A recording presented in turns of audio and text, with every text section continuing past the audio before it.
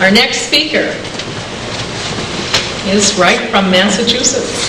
Dr. Phyllis Mullenix started her career at the University of Kansas with a PhD in pharmacology with a specialty in neurotoxicology. She completed a postdoctorate at Johns Hopkins School of Public Health in Environmental Medicine. In 1977, she joined the Department of Psychiatry at Children's Hospital in Boston and joined the Department of Neuropathology with Harvard Medical School. From there, she moved to Forsyth Dental Research Institute and was the head of the Department of Toxicology for 11 years. In 1995, she published the groundbreaking study linking fluoride with damage to the central nervous system. Currently, Dr. Mullenix is a research associate at Children's Hospital Department of Psychiatry and lecturer in radiation oncology at Harvard Medical School. Please give a warm welcome to Dr. Phyllis Mullenix.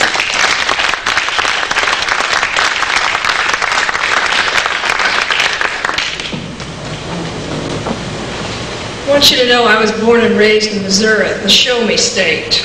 I talk a little slower, and so I think I ought to have a little longer to talk get it out. yes, I want to tell the story of how I was introduced to fluoride. I will tell you the truth. Fluoride never even entered my thoughts before 1982. I was at Children's Hospital I, my specialty was I was to develop animal models to, screen, uh, to look at and develop technology that would screen for screen substances for having an adverse effect upon the brain and uh, behavior. In the process of doing that, um, I drew the attention of Dr. Jack Hein, who was the director of the Forsyth Dental Center in Boston. It's right next to the Museum of Fine Arts, if you're not familiar with it. It's an old institution that uh, used to provide free dental care for all the children of Boston.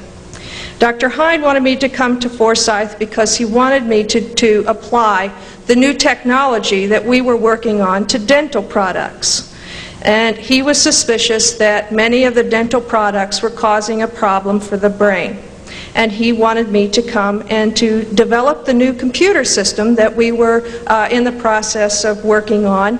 It was to be a brand new system that would totally uh, make screening for neurotoxicity an objective measure. Uh, I'm going to, if they can turn down the slides, I'm going to, or turn down the lights so we can see the slides. I'm not trying to get you into the science, I'm just trying to get you to realize what was going on. We developed the first computer pattern recognition system where a computer actually did what the eyeball would do in terms of looking at uh, behaviors. This computer system, we, we got the first VAX system and it was totally dedicated to doing nothing but following the movements of animals and being able to pick out abnormal behavioral patterns. So I moved then to Forsyth. I agreed uh, to come and to uh, set this system up. And I also agreed that this system would be applied to fluoride as the first thing that we would study. When I moved to Forsyth, Dr. Jack Hein introduced me to what was known as the, the, world's leading expert on fluoride chemistry and fluoride toxicology. That individual's name was Dr. Harold Hodge. Dr. Harold Hodge is one of the founding fathers of the Society of Toxicology. Dr. Hodge also was the chief pharmacologist on the Manhattan Project. And it was his responsibility to uh, look at the toxicology of fluoride, although I didn't know that at the time. Then um, uh, I, I worked on the computer system at, at Forsyth. We developed, we had our laboratory, we had our video cameras, we had the computers going. It took a lot of years. The system was successfully set up. Uh, you know, it was the first system, as I said, where human intervention in doing these tests was totally taken out, so it was an objective measure. And then we, um, I had a physicist that worked with me, Dr. William Kernan, who was the head physicist at the uh, Ames Laboratory. And um, in fact, he designed the programs to follow the movements of hydrogen particles through a bubble chamber. And he says, well, if we can follow hydrogen particles through a bubble chamber, we can follow rats through three-dimensional space. We took this system, we developed it, and we applied it to fluoride. Now, um, I must say that in what this computer, this is a digitized picture of what the computer sees. And so I'm just pointing this out because, as I say, this was a, a very unique system. And I was sought out by many different groups to apply this system to many different, neuro, many different substances that were suspected. And the one that we developed that was most successful was in um, the look at the neurotoxicity of the treatments for childhood leukemia. And uh, our system was put into the uh, yearbook of oncology, and we were very successful.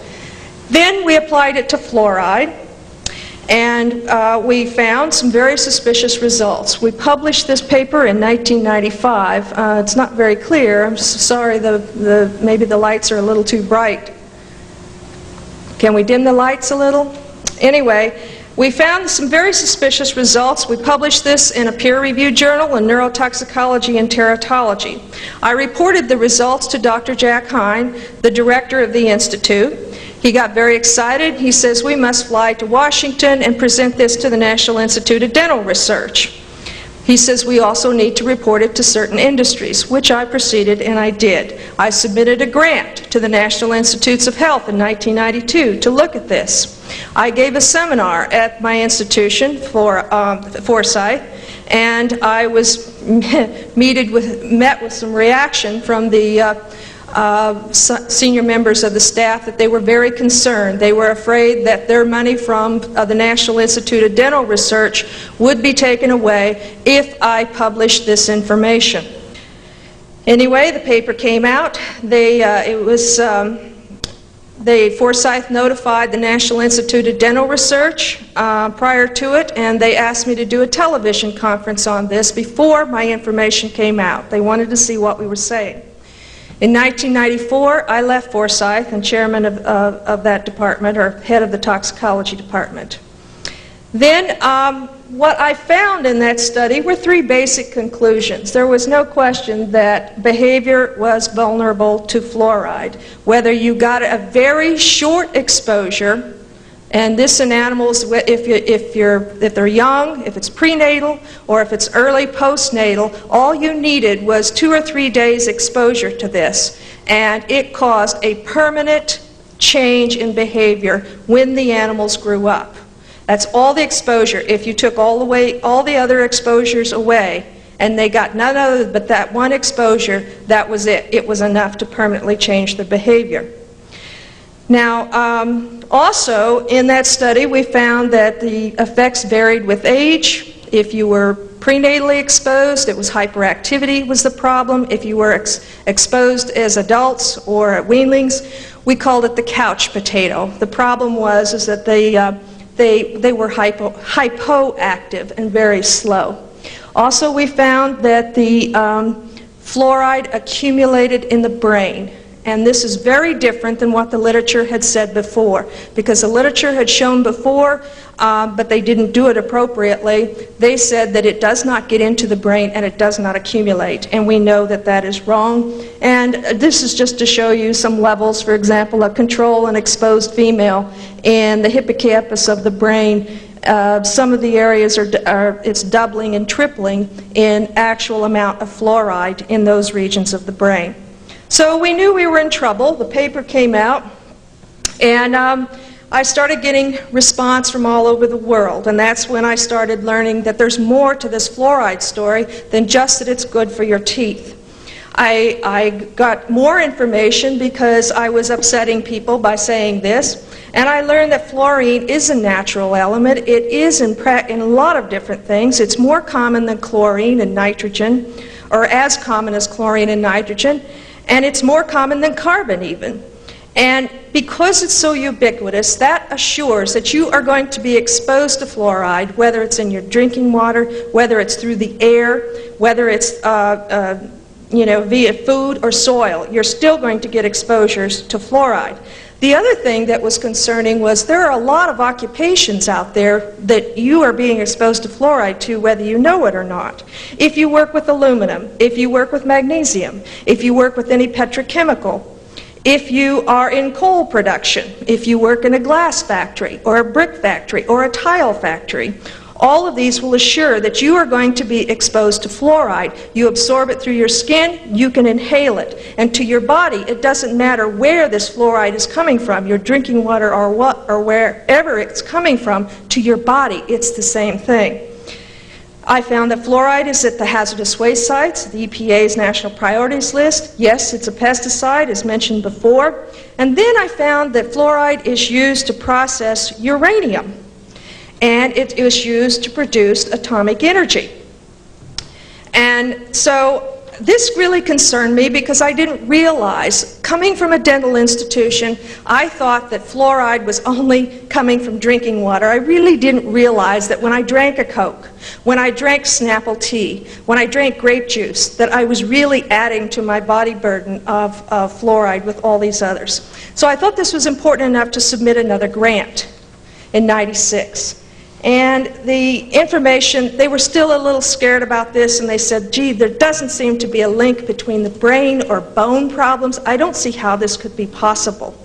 And then in walked Cliff Honicker into my life, and he walked, and he says, he asked me two questions. I'd never met or heard from this before. He knocked on my door, and this, this summer, as a matter of fact, in 1996, and he asked two questions. He asked me about my CNS work, and he asked me about my relationship to Harold Hodge. Remember, Hodge was one of the people in my department of toxicology I'd worked with, and he, would work, he was a chief pharmacologist on the Manhattan Project. This man had never said anything to me in all that time. He asked me lots of questions about what we were doing, but he never actually said what was going on. Cliff showed me some documents then from the Manhattan Project that had recently been declassified. I then got a publication from 1949 where this man had been there when they actually started working with the fluoride and did the original toxicology studies. And they described what happened to some of these people when they were accidentally overexposed to fluoride. And here is what he found. All the seriously injured individuals were unusually nervous, apprehensive for four to five days after the accident. One individual was definitely overstimulated for about three days, exaggerating all facial expressions and being unusually verbose and talkative. At times, he was almost incoherent. The other seriously injured patient, although normally quiet and placid, became very apprehensive with a similar tendency toward the exaggeration of statements. The opinion of all observers held that the mental reactions were more than could possibly be explained on a fear reaction basis. The second accident that they had, the mental status for the first five or six days following the accident was marked by general sluggishness, the couch potato syndrome, with transient, periods of restlessness, irascibility, and nervous tension with occasional silliness and loss of contact. Does that sound like anybody you know? Hodge in 1965 wrote another book. This time, though, in that book, all he talked about were the effects of fluoride on bone and teeth. He did not talk about uh, anything about these CNS effects. But then, Cliff showed me some documents from 1944. And in this memo, I just want to point out a couple of statements. This memo was marked top se or secret and no one knew this, but it, and it's dated April of 1944. And I can't hardly read it from here, but it says it's to Stafford Warren, who was part of the um, uh, head of the project. And they talk about here that there is clinical evidence to suggest that C616, that's uranium hexafluoride, may have a rather marked central nervous system effect with mental confusion, drowsiness and lassitude as the conspicuous features. It seems most likely that the fluoride component, rather than the uranium, is the causative factor. They knew in 1944 that it was causing a problem. They go on to say here that it's causing a problem and we are worried about it and we want to do animal experimentation because these, um, we're we're afraid that our workers are going to become confused, and they're not going to be able to handle working with this stuff. They're going to be a danger to themselves, and they're going to be a danger to others. The memo goes on.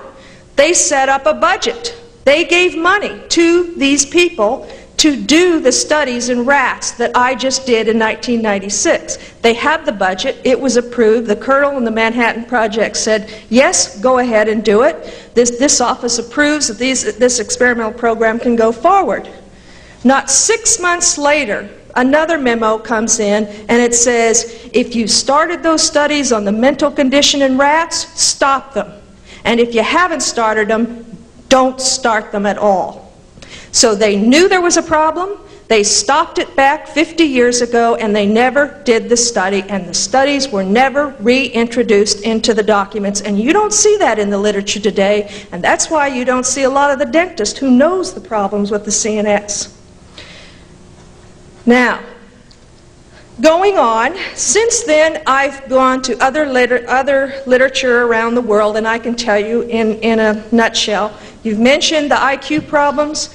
You've mentioned, I can tell you that uh, there's a review that's recently written, as, as recent as 1994, that says the syndrome that you have if you're exposed looks a lot like the chronic fatigue syndrome.